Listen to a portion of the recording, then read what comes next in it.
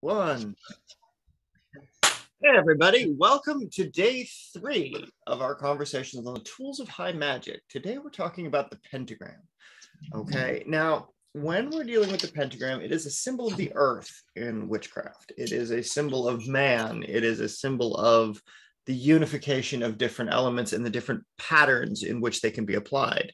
So, between Eastern magic and Western magic, we have a variety of things that we can look at when we apply things in a pentagonal order, right? And so as you're doing the blazing ritual of the pentagram or the lesser banishing ritual of the pentagram, where you visualize and you call down the holy archangels at each of the points and you make your your directions of the points in different ways you evoke that energy from that location of the star in its rotation right so down in the bottom left to the to the upper right over and across depending on which direction you go in chinese magic occurs in different ways right? And we'll get into that in a little bit. But right now i want to read a passage from the transcendental magic book by Eliphas Levi as it provides for a deeper dive into the pentagram and its high magical associations.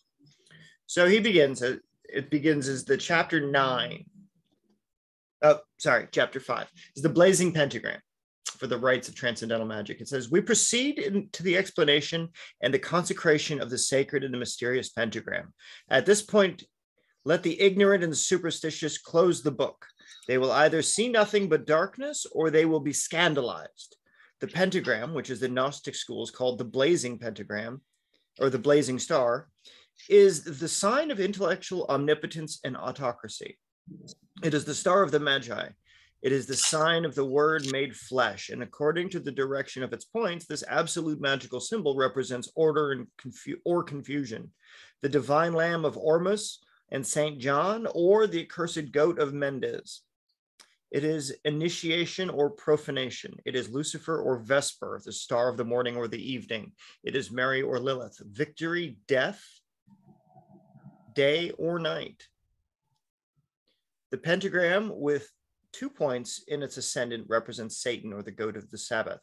When one point is in the ascendant, it is the sign of the Savior. The pentagram is the five figure of the human body having thus the four limbs and the single point representing the head.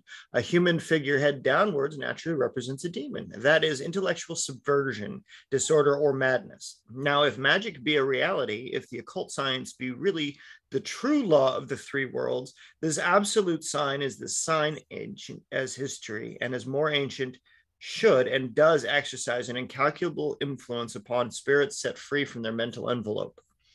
The sign of the pentagram, called the sign of the microcosm, represents the Kabbalists of the Book of Zohar's term for microprosopus. The complete comprehension of the pentagram is the key of the two worlds, its absolute philosophy and natural science. The sign of the pentagram should be composed of the seven metals, or at least traced in pure gold upon white marble. It may also be drawn with vermilion on unblemished lambskin the symbol of integrity and light. So you can use uh, lamb vellum for that.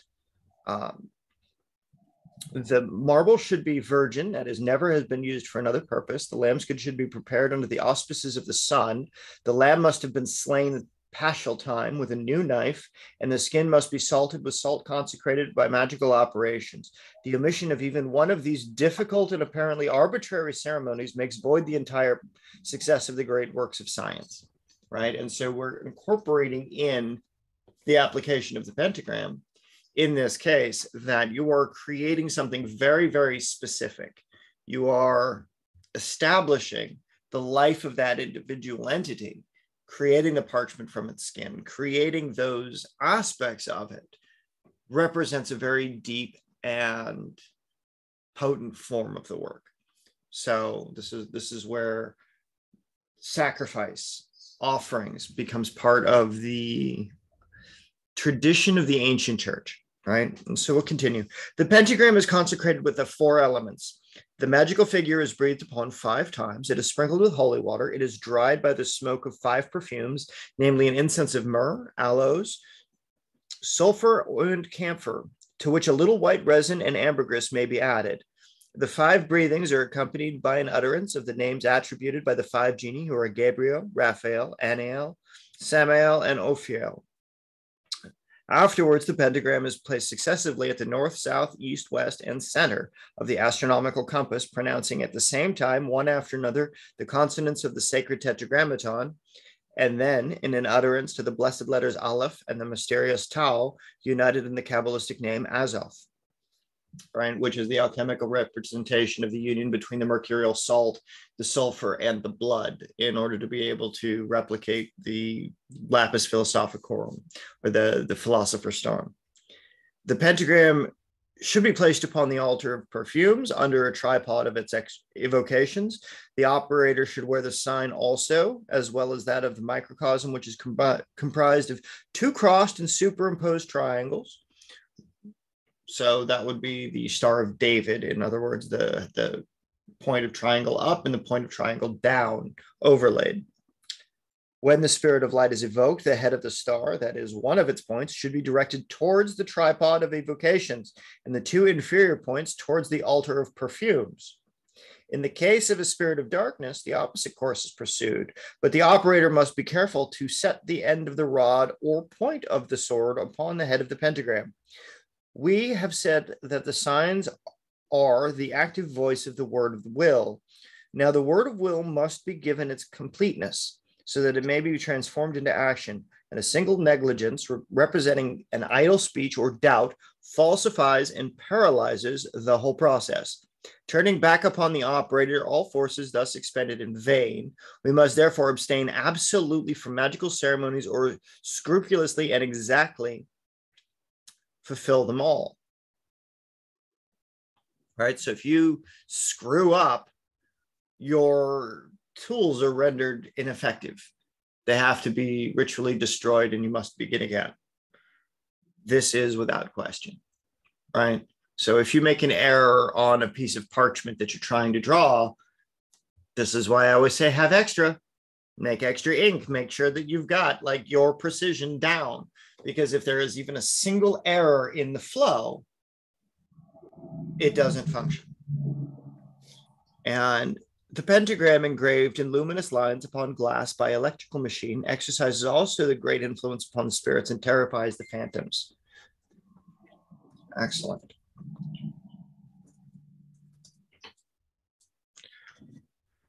The old magicians traced the sign of the pentagram upon their doorsteps to prevent evil spirits from entering and good spirits from departing. This constraint followed from the direction of the points of the star. Two points on the outer side drove away the evil, two points on the inner side imprisoned them. Only one on the inner side held good spirits captive. Although these magical theories, based upon one dogma of Hermes and on the analogical deductions of science, have been confirmed invariably by the visions of the ecstatics and the paroxysms of the cataleptics, declaring that they are possessed by spirits. The G, which Freemasons place in the middle of the blazing star, signifies gnosis and generation, the two sacred words of the ancient Kabbalah. It also signifies the grand architect, for the pentagram on every side represents an A. By placing in such a manner that these two of its points are in the ascendant and one is below, we may see the horns, the ears, the beard of the hierarchic goat of Mendes when it becomes a sign of infernal evocations. The allegorical star of the Magi is no less mysterious pentagram than the mysterious pentagram, excuse me. And those three kings, the sons of Zoroaster, conducted by the blazing star to cradle the microcosmic God, are themselves the full demonstration of the Kabbalistic and magical beginnings of the Christian doctrine. One of these kings is white, another is black, and the third is brown. The white king offers gold, the symbol of light and life. The black king presents myrrh, the image of death and darkness. The brown king sacrifices incense, emblem of the conciliating doctrine of the two principles. They return thereafter into their own land by another road to show that the new cultus is only on a new path, conducting man to one religion, that being of the sacred triad and the radiant pentagram the sole eternal Catholicism of St. John in the Apocalypse beholds the same star as it fell from heaven to earth. It is called absinthe or wormwood, and all waters of the sea become bitter. a striking image of the materialization of dogma, which produces, produces the fanaticism and controversy. Then unto Christianity itself may be applied the words of Isaiah How hast thou fallen from heaven, bright star, which was so splendid in thy prime? But the pentagram, profaned by man, burns ever unclouded in the right hand of the word of truth, and the inspired voice guarantees him to overcome the possession of the morning star, a solemn promises of promise of the restitution held out to the star of Lucifer, right? And in this case, the star of the east, the star of the absolute and the universal synthesis, opens up human aspirations to the 50 gates of knowledge, right? And so that's through the epiphany, through the different applications of it.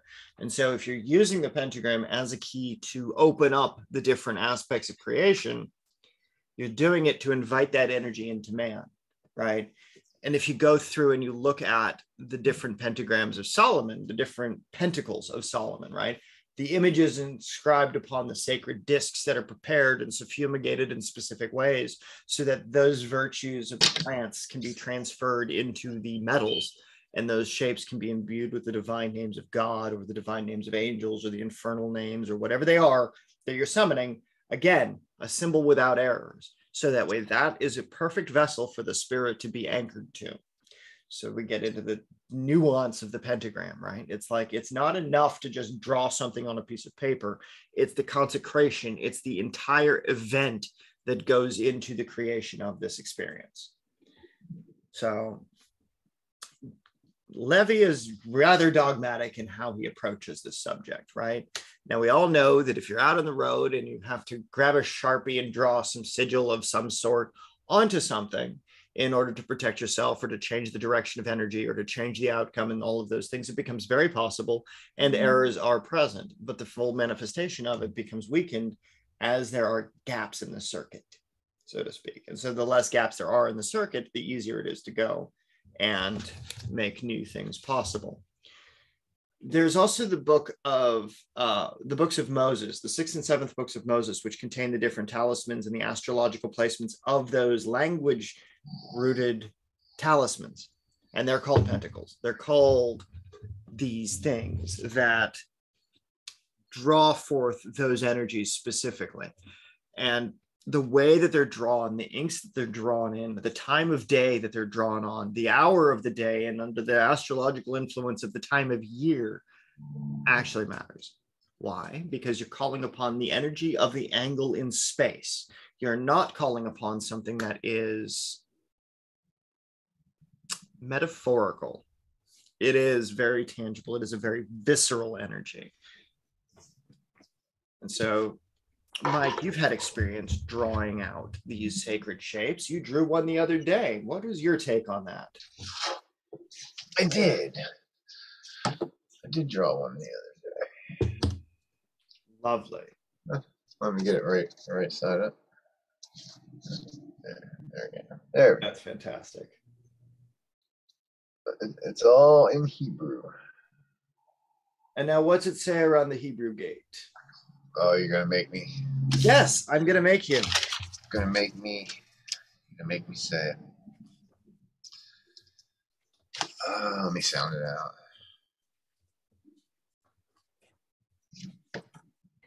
Patak et ha ashar bin ha alamot alamorot means uh, open the gates between the worlds. Nicely done. It's got all the fancy little worlds and things you told me to put on there. That is correct. And the the reason why is because not only do you get the vibration of each of the letters representing a specific type of energy in its union, but you also get the focus place of the division between the worlds in the same kind of way that in the Qliphothic traditions or in the Kabbalah traditions that the divine had to create Geburah as the place into which the world was created. God had to divide himself from his creation so that he could create a place where he was not, so it could propagate its own divinity. And that's the thing. For those that are out there that are artists, you can get really creative with this stuff. Like you know, that, that's freehand, guys. I didn't use rulers and like all kinds of shape. That that was freehand. So I was just looking at a picture and going to See, it. I'm all about doing it by rulers and such. Yeah, see, I, I can't. I, as you see, I'm all tattooed. I, I was a tattoo artist. I can't, can't do rulers and such. Now I, you know, and it's funny because you know I can't measure anything out when I'm drawing, but boy, let me get to cooking and I got to measure everything. I- I'm I'm the opposite. It's like if I'm cooking, I got this. I got this. But yeah, no, like measure measurement is important because you know, and this is one of those things is where you want to make sure that your symbols are mathematically sound. Because again, it's about the perfect representation within that object, within the microcosm. You, you can have those placements be a, a degree off and your spell won't manifest in the way that you want it to. It'll be a little bit shaky. It'll be it'll be a little bit more rough on the client, as it were. And the better we do when it comes to drawing these things out, lining them up accordingly around a specific grid, the less chaotic it becomes. Right. And in my work, when I'm doing the different aspects of these things. I've got a mineral in the tip. I've got a plant. I've got the animal. I've got a quality that represents the spirit and a quality that represents the mind in these things. Now, the application of those within the space, if I'm using a five point star, like you can put the elements, you could use the Chinese elements of wood, air, metal, wood, water, metal, earth, and fire, right? Um, and they each have a relationship to each other. And depending on how that relationship is applied, it depends on what types of work manifests. And that's what I'm looking for right now. It's just this book is hiding it from me. Aha, Don't you love when they do that? right? Magic books want to tell you what they want to tell you when they want to tell you. It's just And not Mhm. or chopped liver compared by comparison. Um, it, Almost as bad as a cat. I would, I would venture to say worse in most cases because it's like, oh, I forgot that that was even in there. Like, and I remember that spell. It's like, okay, well, that's no. And so, again, we'll go into making the arrays while I continue to search for this particular chapter. You ain't find it yet? No, I feel stupid. You know how stupid I feel doing this. Uh, no, um, it's like it's in here. Here's the math for it. That's Where why is- in, in the beginning you should always highlight in, the, in like the reference part chapter, highlight it. I did All the ones you go to a lot, highlight it. That's what this I do. Like highlighted. I have, but the problem is, Mike, I've got in this so many little flags of what's highlighted. it's like, which flag did I use for which? okay, so now you gotta pick through the highlighted. Yeah, now I need to take a sharpie to these little flags and be like, all right, this is the pentagram page. This is the, this is the other page. You're gonna have to do the Dewey Decimal System on on, on the colors. I really am, man. I know, I, you know, I had it listed at, at, at some point. It's just, it's all within the hexagram stuff, and there's so much of it. As you would expect. right? So like the sky in the yang, its color is white. Its ingredients are for the sun, right? And then you've got the earth, the lake. Found it. Ha! Found it. Earth, lake, fire, thunder, wind, water, and mountain are the fi- are the eight arrangements. Okay. Now, Eastern culture pentagram. Metal is on top. Wood is on the left. Water is on the right. Bottom left is fire. Bottom right is earth. Okay if you're doing counterclockwise. So metal, wood, fire, earth, and water, that will generate things for love. That will draw out the inner the inner nature of a thing because you're creating a spiral of flow. If you're doing something that's pentagonal counterclockwise, it creates fear. All right.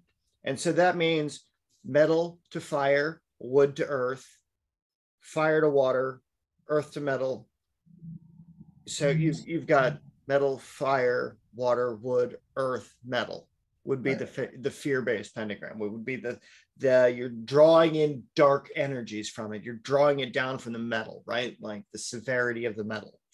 For creation, you're doing it clockwise. So it would go metal, water, earth, fire, wood, and back to metal. So everything goes back together, right? And if you're doing pentagonal clockwise, so metal, earth, wood, water, fire, metal, back again, is destruction. So you can use this as the destructive pentagram. So if you need to break energy down, bam, like that's what you get. The hexagrams um, that are for use for the pentagram of love would be hexagram number 35, number seven, number five, number 44, and number 37. For fear, it would be hexagram number 13, number 20, number 64, number 11, and number 48. For the destructive pentagonal clockwise, it would be 12, 59, 14, 46, and 63. And for creation, all right, that's the clockwise pattern. That's number six, number 36, number nine, number eight, and number 50. And so when you're using those arrangements, when you're using these ingredients of the hexagrams, like which one represents which, right? You we have in the the Kabbalah the the concept of earth of earth, earth of air, fire fire, etc., etc. right? So the wind of wind is hexagram number 29. The fire of fire is hexagram number 30. The wood of wood is hexagram number 57. And the lake of lake is hexagram number 58. The metal of metal is the hexagram number one. And the water of water is hexagram number two. Thunder of thunder is hexagram number 51. And mountain of mountain is number 52. So we have 51 and 52, 1 and 2, 57, 58, 29, and 30 as the primary. This is what they are in their foundations, right? And so you have the yang state and the yin state over each other. And depending on which nature that you want, you can have yang over yin or yin over yang. So that energy receives and projects, or that energy projects what it receives, right? And so it's a mathematical principle. Again, where you put your symbols within the pentagram depend on what you'll be able to result yield as a result of that. So that way everything matches in balance and it stays in harmony with the divine rhythms that you're talking about when you're creating energy in and energy out. So if it bonds a spirit in then it's because of the divine names that you've put there. And so it's creating projective energy out. So you put your energy into the thing, the thing then creates the resonance within your space and puts it out. And so this is why I like to work with the hexagrams is because those are an environmental manipulation. One of the fun tricks that you can do with studying the hexagrams in order to test them and to apply this technique in different ways to your, your symbols and your objects and things like that is to draw a tarot card for an individual to see what their energy is like and to see if it matches their their particular place right and then you take a sharpie body safe non-toxic or what have you or you take watercolors whatever they are and you draw a hexagram one of the symbols of the i ching on either their foot or on their arm or wherever you want to have some fun with it but draw a tarot card again and because of the environmental impact that overrides the conditions of whatever the environmental energies are, that hexagram is the meaning that you'll pull in the tarot card. And this has happened every time I've done that. So it's pretty cool how the, the environmental manipulation occurs using this Taoist technique, right? And so when you're doing Taoist magic, they recommend that you do it on a yin yang with equal spaces, equal circles, with the, the black circle and the white circle, everything with an equal measure, right? And so it's on this rug or on this stone carving that you're doing the star stepping patterns. You're stepping between one gate and another. You're literally doing this on a carpet. You're doing this on a surface that is a plane that is created by the magic that you're creating and inviting into your space so that way you have a place of evocation you have a place of communion you have a place between this world and the other worlds there's a, a monastery here it's the presidio um, or the prado excuse me uh, and it's it's one of the first missions here in san diego and they have part of it where it's an elevated platform and on the top you go up this little creepy set of stairs and there is a brick pentagram with its thing that the monks used to worship on outside under the stars. Creepy as shit. Really cool.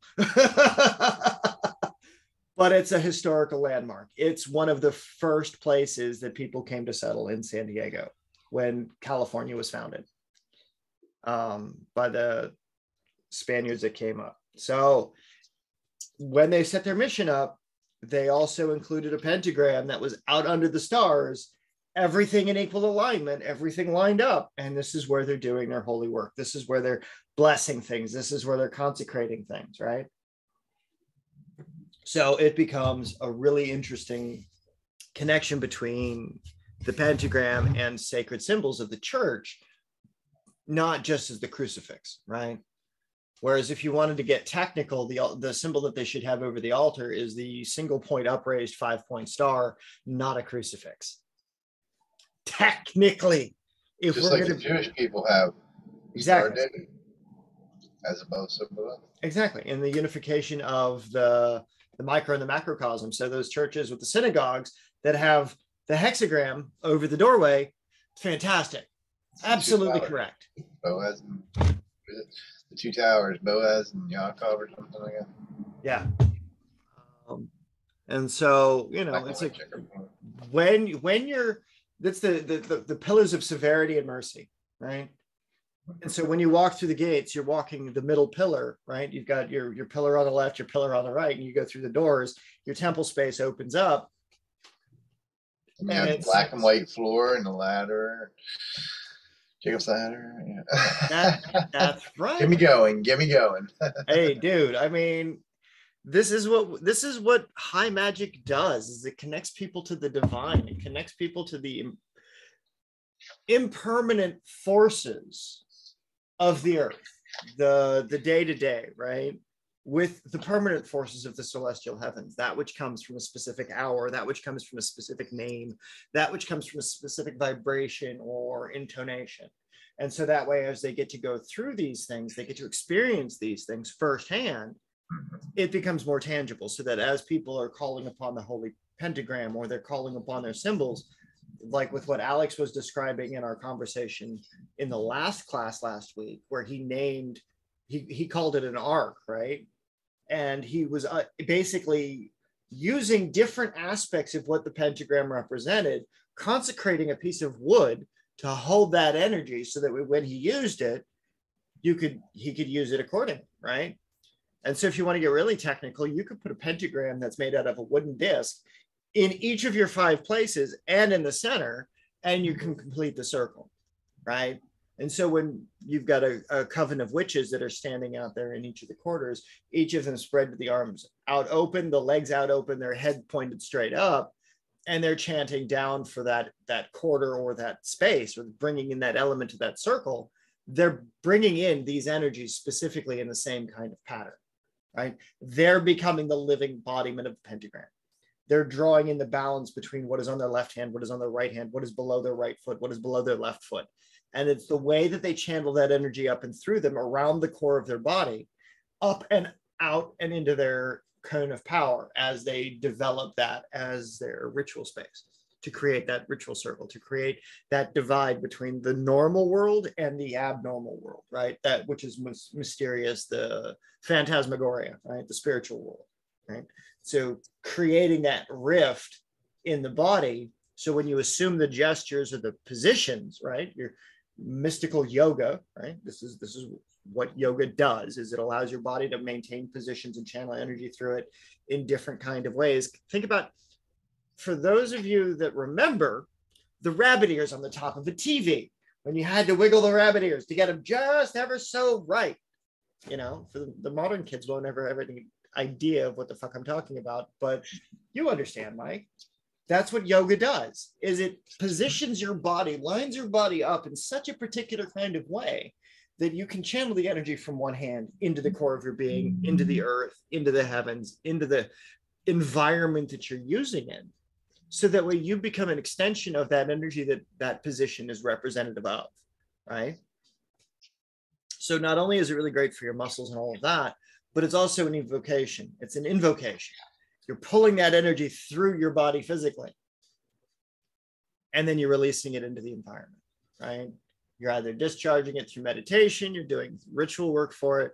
And that's one of the things that Crowley would do is he would do the different yoga positions during and before his ritual work, right? And even afterwards, there's simple, there's there's arm gestures, there's leg gestures, there's body positions that you take when you're doing these kinds of things so that way they get the effect that they're looking for. They get that outcome that they're looking to use. They they they get that medium of transference from the intangible into something physical that outputs into the material which is the entire path of the four worlds of the kabbalah right? Your intangible mind you're forming it with your divine thought you're giving it action and you're giving it creation right and so as you go through and you use these things and as you catalyze upon these things with the inks and with the colors and with the minerals and with the animal parts or with the sacrificial magic that Levi was talking about, right? When you make everything right in your ritual, you have then created the vessel that contains the spirit of that thing right? Imperfect vessels, imperfect spirits, fallen spirits, lost spirits, damaged spirits, broken spirits, whatever they are, you can purify them. Granted, the better of a craftsman you are, the more time and effort you become in unison with this energy, the easier it is for you to be able to take on these energies and to be able to develop that communion with them. So that way, your pentacles of Mars or Saturn or Jupiter or Venus and all of the different myriad forms in the greater key of Solomon have that vibration capacity because they're carved, they're cut, they're made in a very specific way at a very specific time of day, blessed with a variety of incenses and perfumes. So that way, once it's done, you consecrate it, you feed it, you put that vital spirit into it, and you have an object of power. So, I mean, that's basically the 30 minute short version of what a pentacle of magic and of various power and properties can do. Do you have any questions so far, Mike? Did I miss anything? Am I forgetting things? Not really. Anytime I drew a, pentacle, it was usually to step inside and do some magic. Yeah. Yeah, that works. Candles on each point, you know. Yeah. Um I put the elemental seals where I do. I would I would have the uh, the four elements in the the eight point star with the the Hindu tattwa with the, the color mm-hmm. candle sitting on top of it in each of the points with the spell in its apex pointed at whatever direction I was conjuring stuff from back before I had the alchemical anchors that I use now. Um, and that's the thing, guys, is that you don't have to have the shape of a pentagram. It doesn't have to be a five point star. It can be any right. shaped star. It can be any space that's a ritual construct. So that way, as you do a thing, these are the things you're incorporating into it. So it's either the collections of the holy names of God, it's either at the right angles of the compass that you're trying to pull in to that energy. So that way you're getting that manifestation accordingly. So the way it works, right? It's a compass. Uh, a pentagram into the right conditions will summon up God itself, right? And like this is the sigillum Dei Aemeth, right? This is John Dee's Enochian magic. In the very center, there is the pentagram. And then around it, you've got the seven point star. And then around that, you've got, you know, all of the holy letters, right?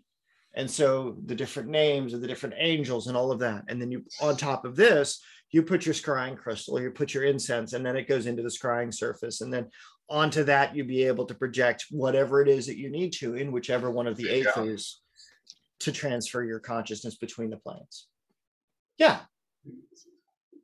Beautiful. The sacred name of God, Yod Wahe, Yahweh. Exactly. And then you got, you know, if you want to get into the separate side of it, dark magic, then you just transfer it over to same thing, Hebrew, but with, you know, Seven. Right. Exactly. Yeah. And so it's it's like as you work with these kinds of things, as your practice expands, working in the different capacities of the unification of energies and the elements. Right? It doesn't have to be those resin plates that the witch shops like to sell because they're flashy or what have you. Pentagrams are made, real ones, like the ones that for your working out of wood, out of vellum, on leather, carved in metal. If it's made out of plastic, if it's made out of uh, that gross poly resin or whatever it is, shit doesn't carry vibration. It doesn't have the capacity to store energy. It just looks cute on a shelf. And so when you're using it for high magic, it has to come from either the natural world or the animal world in order to be able to carry the life within it because it's the life of the tree that was it's the metal of the the genius loci that was it's the spirit of the animal it came from. And so if you've got a pentagram flesh carved into you via a tattoo then your body becomes the temple for that spirit. Your body you're anchoring that energy into your body. And so that way you have that foundation for your body is the temple. You have blessed it and you have consecrated it and you have given it the holy symbols of those things right? And so on my back i have a conjuring circle that i call the circle of creation. Uh, and i found its exact patterning. I didn't know this uh, but the way that i drew it out the layers that i included within it i found in a copy of the sefer yetzirah about five years after i got the thing tattooed on my back it's because this is the path of creation this is the path of formation that I'm walking on, right? And so this is what I condition the body for to be a conduit of these energies. And so in those situations, if this is a life path, then absolutely do that. But if you're just doing a pentagram to be like your local witches, you know, if it doesn't have the significance, if you're not using it to cultivate your body as a temple for the greater energies, and you're just doing it to be edgy, for sure, you've you've you've lost the goddamn mm-hmm. point. right? And that's the thing is like you earn your tattoos, you earn every ink, single bit of ink you put on your flesh. If yeah. you don't, it shouldn't be there. It's not like you get drunk and you're like, oh no, I'm just gonna go get this image. It's like one should know what the image is first. Right. How to work with it, understand it.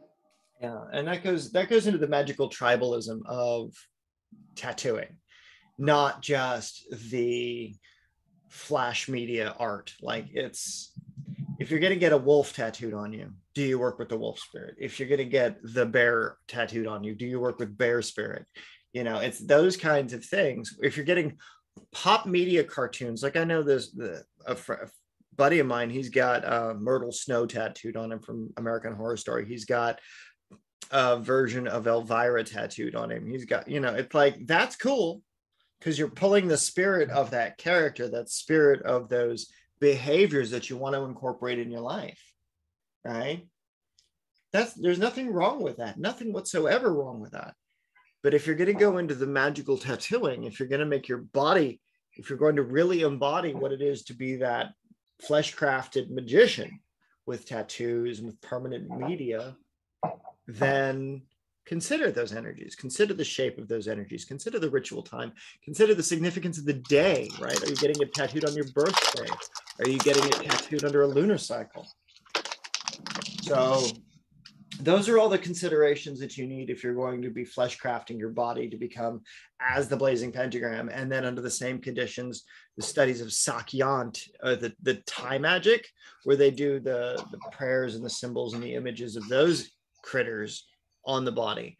There are certain taboos that the individual who's wearing that can't break, or they break the power of the spell that's chanted during that tattoo, and they're surrendering it ineffective for the rest of their life. So it's like you've got one shot, they tattoo it on you, you break the conditions of the spell, there is no recharging it unless you go That's back right. and get it redone. Like, and even then, you're going to have to get another one. You're going to have to get the whole thing blessed and prayed over and they don't use electrical guns for those. They're doing it, but the old school tapping in the, the, the it's a process. Like you're in pain, you're in endorphin rush, you go through all the cycles. Like so, conditioning your body under the right kind of way is the same kind of thing that you have to consider when you're making a talisman. You have under the right kind of divisions of these things. It's like yesterday I was making the for February 22nd, 2022 at 2:22 p.m. I finished a talisman that blended the tal- the letters of the sun, the letters of Jupiter, and the letters of Mars together because at 2 a.m. was the power of the sun, at 2 p.m. was the powers of Jupiter on the day of Mars. So it's a union talisman between those three energies. And so being able to use that to be able to draw that image again, I can bless it on that singular image. Right. It, it allows for that image to have that power to come through or any of the other gates and arrays. And so using array magic, creating ritual circles that you can use over and over and over again, such as the use of this image. Right. So this is one that I use regularly. And I'll put the alchemical anchors in each of the three circles. And that's a blood seal in the center of it. So it's through that gate. It's got the associations with the planet of Earth in there. It's got the associations of the spiral of flow in this in silver in there. It's got the herbs to open the gates of the earth in there and the gates of heaven in there and the gates of the human path and the gates of the ghost path so that everything comes through its center point and represents as a point of origin, right? Whereas something like this opens the gates of human, earth, and ghost with the gold gate of heaven. So focusing that energy into the center allows for that development. And so as you go through and you build out your practices in the same way that Mike has built out his practice with that summoning symbol for the spirits and the gates between the worlds, right? that's the that's one of those things where you can go a little bit deeper that's one of those things where you can get a little bit more robust with your pentagram experience when you're creating a holy image whereas the zero point of your spellcraft so that way there is a specific point of entry of where that energy comes out of and where that energy is going into that you use as a focus for your spell work so with that my friends i'm going to say that ends the conversation on the Holy Pentagram. So I appreciate you sticking with us. Thank you so much, Mike. Thank you. And if you've got any questions, please feel free to reach out. Yeah. Not really. I know a lot about the pentagram. I've done my, my, my research and I've used it quite frequently. I use it a lot in the Kabbalah, you know. Oh, absolutely. It's as above, so below, as as within, so without. It's the holy. I mean, really it's that's why the jewish people have it they tell you it's the star of david but really it's not david didn't have a star um, when you get into the jewish kabbalah it, it's actually yod hey wah hey and the yod means fire the hey means water the wav means air and hey means earth it's you know as above so it's it's, it's all symbolic but all fascinating at the same point. When you, you start to understand it at these levels, you under you give you get a greater appreciation for the pentagram when you understand the actual mystical sacred meaning behind it.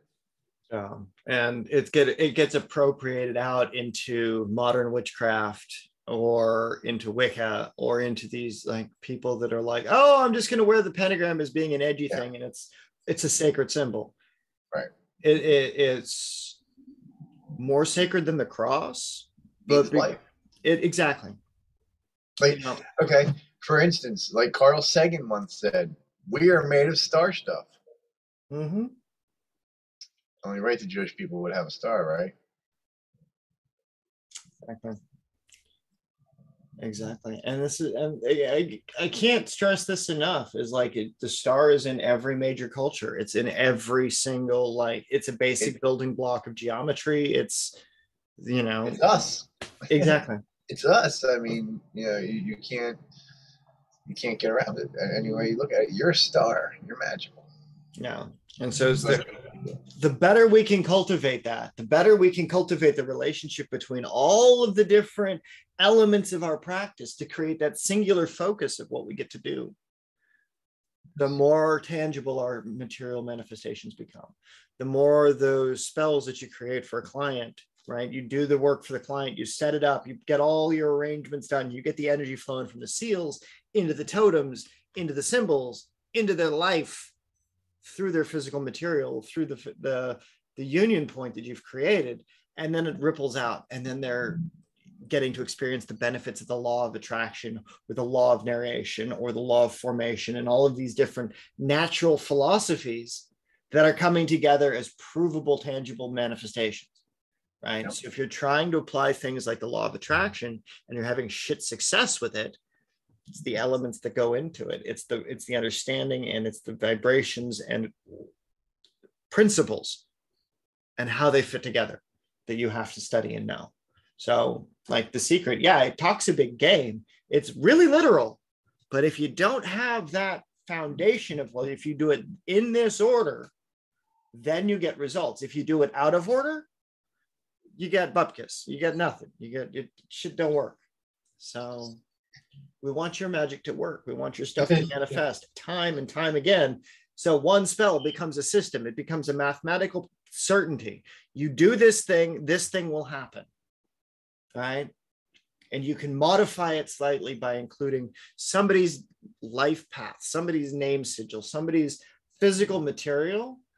And then because they're a different entity, it will occur in a slightly different variation because that energy is fixed, but it outputs through their energy, through their manifestation, through their acceptance of it. So if they refuse the manifestation of it, shit goes sideways for them because they fucked it off. That's on them. Yeah. The energy got brought into their life. That catalyst of change was invoked into their life. But how they went about using it their interpretation of it, their understanding of it, because they didn't take the time to understand it, then they have a bad taste in their mouth and then they say it's false. They don't understand that all of the different things that are applying in their life to get their life to go in that particular direction. You know, it's it it becomes devastating. And it's the lack of information, it's the lack of education on this, and it's the lack of willingness to embrace this information that causes more problems than it helps. And, and again, it's like what Levi said you'll either get blasphemy or you're gonna you're gonna be you're gonna be you know it's gonna put you off. Like you're either gonna just see evil or you're gonna be stupid with it. Don't be stupid right? And that's the big lesson in this is like if you're gonna do a thing make it as perfect as you can so that way you've got a direct conduit for the divine because the divine is the perfect representation in the fallen broken world that we live in right? The more perfect you can make it the closer to god it gets right? And so that's why you seek the mastery of craftsmanship. This is why you seek the mastery of the old world in certain ways right? Like the, the master masons and all of these things is because they had a perfect understanding of their craft so much so that they were able to reproduce it time and time again with little to no extra effort and it makes it look seamless. It makes it look as like the divine carved it themselves. And that's the kind of thing that the pentagram teaches right? And so that's the, that's the same sort of thing that your talismata should represent that, that you should be able to replicate in as much as you are able right? And that's the thing in as much as you are able. So that way as you grow and as you get better you've got a period of like the talismans that you made 20 years ago versus the ones that you're making today versus the ones you're going to make 20 years from now. All of them are improvements, right? And it's as the divine improves in your life, your connection to it, and all of these other things. So remember, folks, don't be evil with this stuff, right? Use it for the benefit of yourself and others around you. And be safe with this information. And I will see you next time for tomorrow's conversation. Look forward to it. Bye for now, y'all.